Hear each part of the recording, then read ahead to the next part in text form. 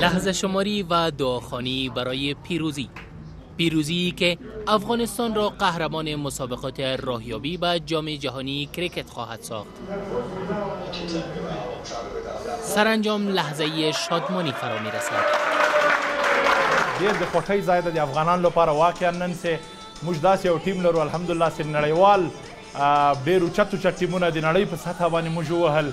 یو وخت کې دا خوب موږ ته موږ به په نورو ټیمونه کې خپل انتخابات درلود چې موږ دا فیورټ کلاړی د نن دا فیورټ کلاړی دا خو اوس الحمدلله موږ خپل ټیم لرو. امروز یک افتخار بزرگ است برای افغانستان.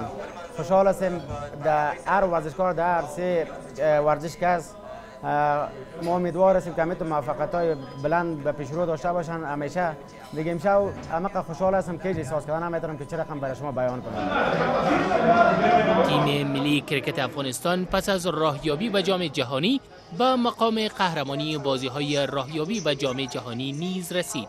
البته که پس از سپری کردن چندین بازی دشوار.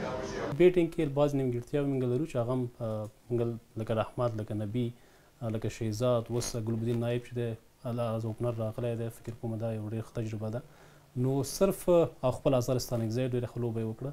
نو زه فکر کوم چې که لږ مونږ په batting باندې focus وکړو ښه coach مونږ اوس لرو نو فکر کو دویم پړاو ته خامخا مونږ وځو ان شاء الله نړیوال World Cup این شاید نخستین جشن شادمانی باشنده های کابل در سال 1397 باشد. جشن نوروز این شهر را انفجاری که 29 کشته به جا گذاشت به سوگواری مبدل کرد.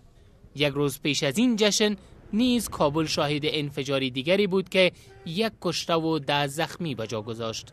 اما پیروزی تیم کرکت افغانستان یک بار دیگر خوشی آفرید و شهروندان کابل را با رقص و پایکوبی به جاده های این شهر بیرون کرد.